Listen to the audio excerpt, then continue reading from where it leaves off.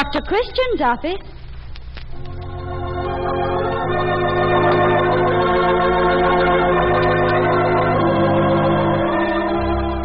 The Vaseline program presenting a new Dr. Christian prize play called Always a Woman by Peggy Mann of New York City, starring Jean Hersholt as Dr. Christian with Helen Claire in the role of Judy Price. These are the days for swimming, for tennis and golf, for getting yourself a healthy tan. But ladies, remember, these are also the days for getting yourself a head of dried out, lackluster hair. Too much sun, drying wind, and water all tend to give you dry scalp by stealing away the natural scalp oils. Result, your hair is lifeless, hard to manage, unattractive. But you can check dry scalp easily and quickly. Keep your hair flatteringly soft, lovely, with Vaseline Hair Tonic. Adopt this simple summertime beauty treatment.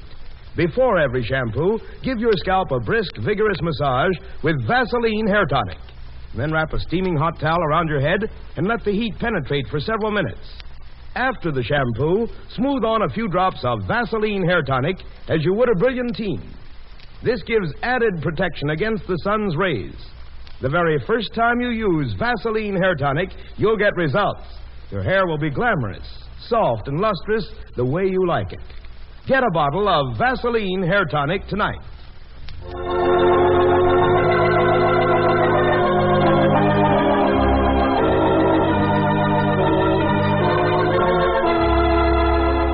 And now to our prize play, and our scene opens in the River's End Railroad Station where Dr. Christian, just returned from an out of town call, is waiting for Judy Price to pick him up in the car. Sitting next to him on the bench is a pretty young lieutenant of the Women's Army Corps. Dr. Christian looks at her hard for a moment and then says, Uh, pardon me, Lieutenant, but do you happen to know a man named Mike Taylor? Why, yes. Oh, then you are Eileen Barrett. I confess, but Uh, I thought I'd recognize you from your pictures. Mike's told me so much about you. Uh, I'm Dr. Christian, Dr. Paul Christian. oh, of course I should have known. Mike's told me a lot about you too, Dr. Christian. Well, then maybe we can consider ourselves officially introduced. How long will you be here, Lieutenant? I have a 21-day leave. And then? Back to Paris. I'm with the Army of Occupation. Oh, I see. Well, I think Mike's going to be a very lucky boy for the next 21 days. Thank you. I only hope Mike thinks so too. Dr. Christian? Oh, there's Judy, my secretary. Hello, Doctor. I'm sorry I'm late. Oh, that's all right. Judy, I'd like you to know uh, Lieutenant Eileen Barrett, Mike Taylor's girl. Uh, Judy Price. Oh, so you're Mike Taylor's girl. I'm very glad to meet you. Mike Taylor's girl. That sounds so nice. I'm glad to meet you too, Miss Price. Where is Mike? Oh, he wired me on the train. They got a special order at the plant. He won't be able to get off for a couple of hours yet. Are you going to wait in the station? Uh-huh. Oh, no, you're not. You're coming right home with me. Uh, that is, if you'd like to. Don't you want to freshen up a Why, bit that's before you... awfully kind of you, Miss Price. Judy to you. Judy. You're sure it wouldn't put you out? Oh, it would be a pleasure. And I'll be going on calls with Dr. Christian so you can have the apartment all to yourself. I expect it'll be an easier place to meet Mike than a railroad station waiting oh, room. Oh, yes. Meetings are hard enough without having half the world stand by as witness. Well, it's all settled then. Come on, you can phone Mike from home. Take the ladies' bags, Doctor. Let's go. All right.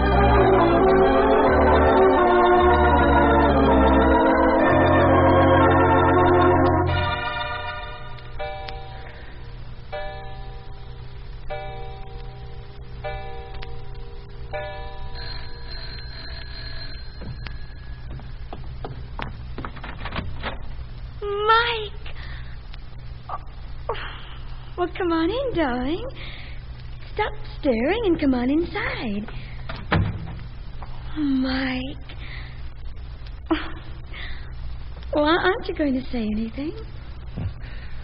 Hello, Lieutenant. Lieutenant, That's a pretty snappy uniform. I'm glad you like it, Mike. Well, aren't you going to. On the cheek? Well, I, I don't know just how to go about kissing an officer. Don't you know how to go about kissing a girl, Mike? I am your girl, aren't I? Sure. Sometimes in some of your letters lately. Did you have a nice trip? Uh huh. Mike, what's the matter? Well, would you like some lemonade? Judy said there was some in the icebox. Oh, sure. Sure, that'd be fine. That'd be just fine.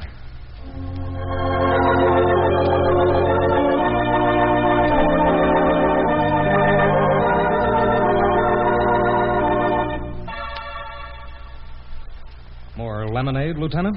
It's all gone. Well, you mean to tell me we finished off that whole big pitcher? Oh, Mike. Mike, let's stop this stiff putting on. What's the matter? Well, you can tell me. I can take it. What's the matter? Matter? What's the matter between us? Well, nothing. Nothing's the matter. Oh, say, look, I, I've got a table reserved at Marconi's for 7 o'clock. I- It's almost that now. We'd better step on it. You did want to go to Marconi's, didn't you? Y- yes, I did. Well, grab your hat then, Lieutenant, and let's go.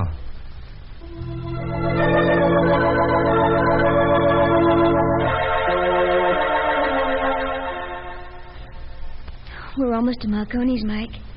And you haven't said one word all the way. Oh, I, I'm sorry. I, I'm just so absorbed in watching all these guys salute you. Here comes another one. Evening, Lieutenant. Good evening, Sergeant. A pretty snappy salute. Oh, no, no, no. You, you better not take my arm, Eileen. What? No, you, you'd only have to salute again in a minute. Oh, I'm sorry, Mike. I don't like it any better than you do. Who says I don't like it? I think it's fine. Makes me very proud to be walking with a lieutenant. Here we are, Mike. Marconi. Yeah. Same old place, huh? Mike, wait. Before we go in, I- I've thought about this so much the way it would be. Let's have it the way I've dreamed about it. Well, how's that? I didn't think I'd have to give stage directions, but. Well, you'd squeeze my hand and look down at me and wink and say, hello, rascal. Rem- Remember how you used to do it? Of course. Like that, Mike. Hello. I can't, Eileen. Not now. Let's go in.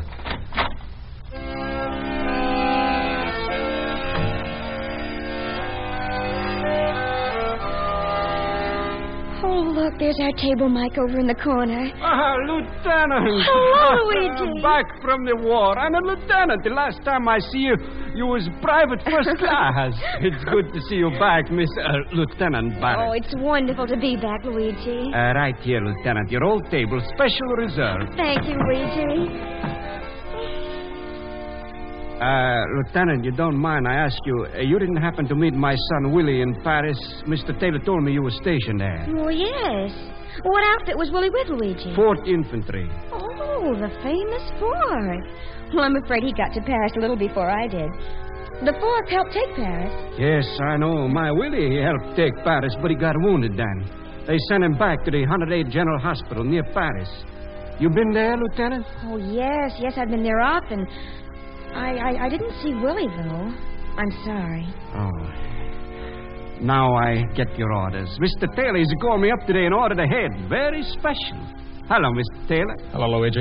I get your orders now. Macaronis are marconis, like you used to say, huh? I get your orders. What's the matter, Mike? Nothing's the matter. You look so. It was sweet of you to think of ordering ahead. Our special. Yeah. Oh, it's like bringing me back to yesterday. Oh, I'm so glad we came here. You are? Well, yes, aren't you? You're not, Mike. No, I'm not. It's not yesterday. If it isn't, it's only because you won't let it be. Oh, what is it, Mike? Tell me what it is. What's the matter between us? Nothing. This isn't us, Mike. The two of us don't add up to what we made before together. Mike, Well, I've got to ask this. It's been sticking in my throat since I saw you. It's been sticking in my mind long before that. Mike is. what? Mike, are you in love with another girl? You want it straight? Yes. Well, I guess that's it. I am in love with another girl. And she's not a lieutenant with gold bars and a snappy salute. She's. Eileen, where are you going? Eileen, wait! Eileen! All right. That's the way you want it. Go ahead.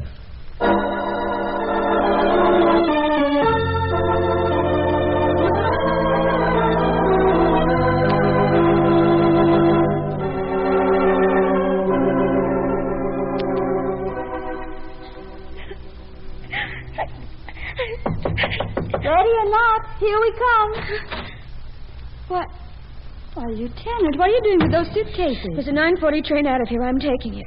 Where to? Home to Charlottesville. You. Oh, you've been crying. Where's Mike, Eileen? Please don't talk about Mike, Dr. Christian. Uh, I was afraid something like this might happen. Were you? Well, you see, Eileen, Mike has told me a lot about you. He tried very hard to hide it, but I could sense how he felt. Oh, don't, Dr. Christian. I know he told me. I don't think he did, my dear. I don't think he realizes it himself. Realizes what? Well, that he feels very inadequate next to you. Inadequate. Yes, and it's not hard to understand. You see, your case is the reverse of most. He's the civilian, and you're the soldier. But I tried so hard to make things the way they used to be. He wouldn't let me. He kept calling me lieutenant, and it was like a slap in the face every time. Yes, I thought he might react like that. You see, Eileen, it was probably his way of retreating. What do you mean, retreating?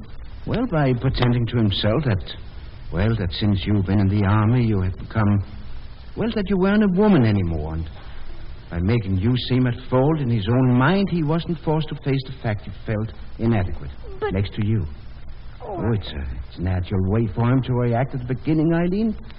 And uh, it'll just take time to work things out. Time for him to learn that you really are proud of him and the job he's doing, so that then he can be proud of himself. No, Dr. Christian. It's a nice theory, but I'm afraid that's not it at all. Mike told me something he evidently didn't tell you, and it means everything's over between us. And this isn't just a line remembered out of a book, Dr. Christian. I mean it with everything in me. I never want to see Mike Taylor again as long as I live.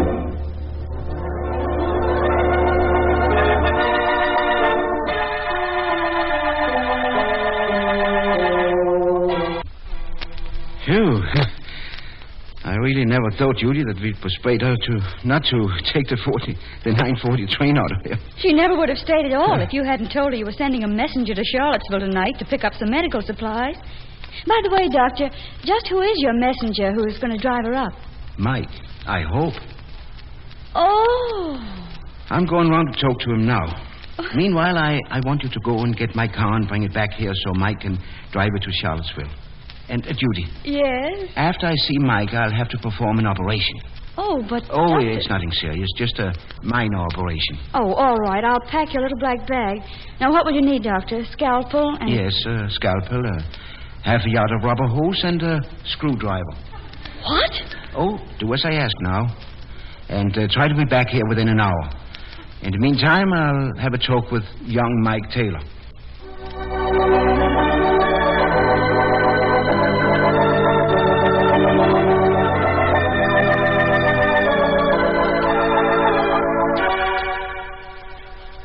Can't understand what it's like, Dr. Christian. We go into a restaurant and she starts talking divisions and troop movements with the waiter. We walk down the street and she's busy saluting every other guy we meet. I know, Mike. It's hard. Yes, but that's the least of it. You should see the look those guys give me. Guys with battle stars on their chest, battle scars on their body. You should see it. Yet, where would those men be, Mike, if you and others like you weren't back here turning out their equipment? It's one war, Mike. A lot of fighting men don't realize that. And it's no man's fault that he is where he is. It's just the way the cards fell. I guess I pulled the joker, all right. No, Mike, you're doing a fine and essential job in the factory. And Eileen is very proud of you. Proud? Don't give me that. I don't even know why she bothered to come back to River's End. Because she loves you, Mike. Because she needs you. Loves me. Needs me. She doesn't need anyone. Since she got into that uniform. She's not a woman anymore. I think you're wrong, Mike. Once a woman, always a woman. Look, Dr. Christian, I, I said I'd drive Eileen to Charlottesville, only so you wouldn't have to drive her. I know you've tried to help, so I'll do that for you. But you're wasting your breath talking to me anymore. It's all finished between us. There's nothing you or anyone else can do about it.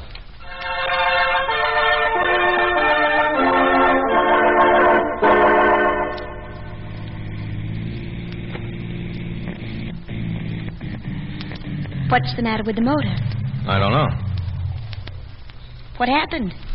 Just hold your horses, Lieutenant, and I'll find out. Hand me that flashlight over there.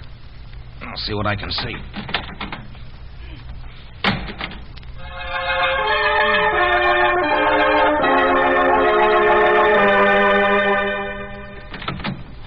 Well? Did Dr. Christian say anything to you about our spending some time alone together to work things out? Yes. He said that to me, too. Well, Well, it appears as though he meant it. He's gone and siphoned the gas out of the tank. what? It only had been about a half a gallon in there. But the, the, the meter reads full. Yeah, I know. He clipped the main wire to the gas tank. That makes it read full. He knew I'd check the meter before we left. If this is your good doctor's idea of a joke, I don't think it's very funny. And just what are we supposed to do now? Either sit here and wait until a car comes by so we can ride into the next town and get some gas, or. or start walking. Well, I'm too tired to walk. Okay, Lieutenant. But it may be a long sit. There might not be another car along here for hours. This is a dark and lonely road.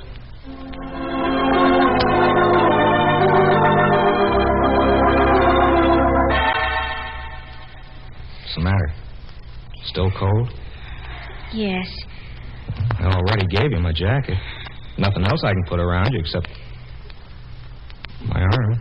I'm not that cold. Now, look, I promised Dr. Christian I'd take good care of you, and I don't want you coming down with pneumonia. I'm putting my arm around you whether you like it or not.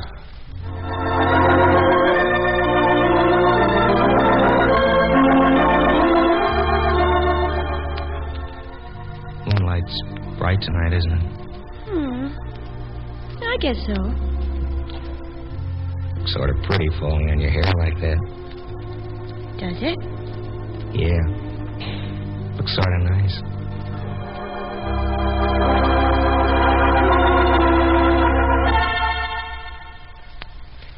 Well, there don't seem to be very many cars along at this time of night. Sleepy. hmm, I guess. Well, why don't you put your head on my shoulder like like you used to? Uh, that is, if you want to. Yeah, like that.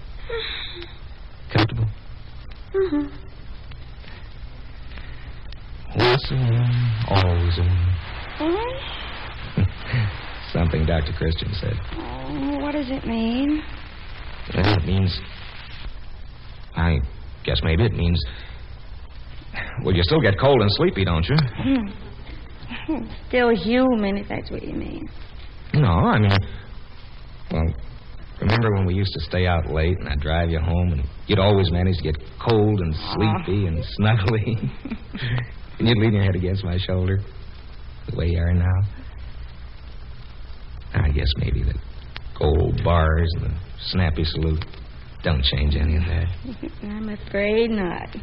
You know, I was so sure you'd changed in the army that the girl I was in love with was no more. Were you? Mike, in the restaurant. W- w- when you said about being in love with that other girl, you didn't mean me. The way I used to be. The way you still are. You mean. Darling, you didn't think there was anybody else. Oh, yes. Oh, Eileen, the way I said it, how could you have misunderstood me? I, I guess maybe I was so afraid there would be another girl. And that's the only reason you left the restaurant? Of course. Well, I thought that. Oh, darling. Oh, come here. Look at me. Hello, Rascal. Mike. You know something? I think I suddenly remembered how to kiss my girl. Want me to show you? I've been wanting you to show me all day. I... Oh, darling. Rascal. My precious, sweet little rascal. Hello.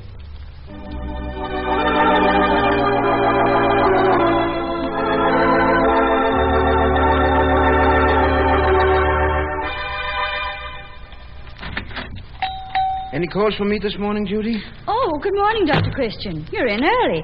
No, no calls. Dr. Christian, I've been wondering all night what kind of an operation did you perform last night with a scalpel and a screwdriver and a piece of rubber hose? Were you operating on a robot? Oh, uh, there's the phone. I'll get it. Hello. Hello, Dr. Christian. This is Lieutenant Eileen Barrett, alias Mrs. Michael Taylor. Well. Yes, when the car broke down, we waited and waited, but no other car passed. So finally we began to walk and talk. Yes, I know. Well, we hmm. finally walked all the way into the next town, and there was a justice of the peace. And I called up my CO and got permission, and, well, now I'm Mrs. Michael Taylor. I thought you'd like to know. And congratulations, my dear. I'm very, very happy. Oh, we are too, Doctor, and we owe it all to you. I wanted to thank you, Dr. Christian, and Mike does too, for everything. We're going to name our first boy after you. Goodbye. Goodbye, my dear. Oh, uh, Judy, Yes, Dr. Christian? you were asking about that operation last night. Yes. Well, Judy, it was the only operation I've ever done where I deliberately set out to wreck something my car. But I think I'd say on the whole that it was one of the most successful operations I've ever performed.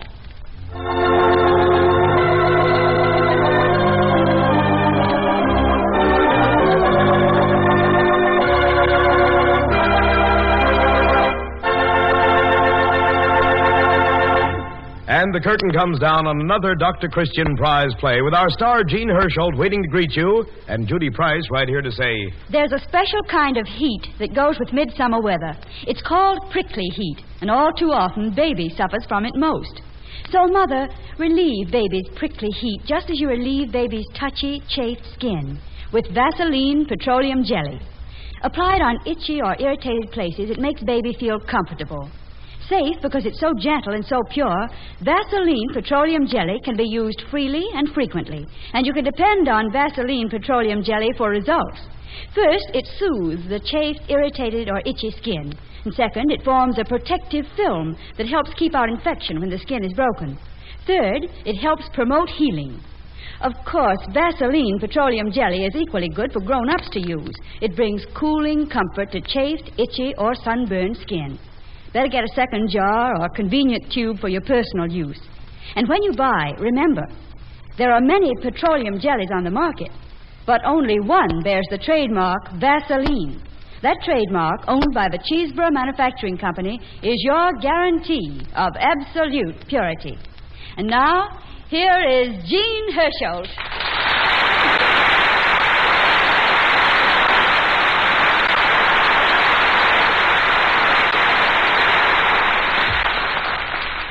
Thank you very much. I have here a message from the government saying that summer and fall classes for cadet nurses are enrolling now. If you are between the ages of 17 and 35 with a high school education and good health and want to join one of the finest professions in the world, this is your chance. Scholarships provide expenses, spending money, and smart outdoor uniforms.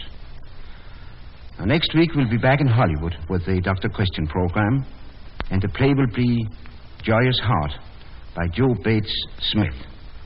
We invite you to listen next Wednesday evening to the Vaseline program, same time and same station. And until then, I'll say good night. Have fun in the sun, but take care of your hair. Summer sun, drying wind, water, all rob you of vital scalp oils, increased danger of dry scalp. So supplement natural scalp oils with Vaseline Hair Tonic. Apply just five drops of Vaseline Hair Tonic daily. Check dry scalp. Keep your hair well groomed all summer long. Remember, Vaseline Hair Tonic. Be sure to listen to next week's Dr. Christian prize play, Joyous Heart. You'll love it. This is CBS, the Columbia Broadcasting System.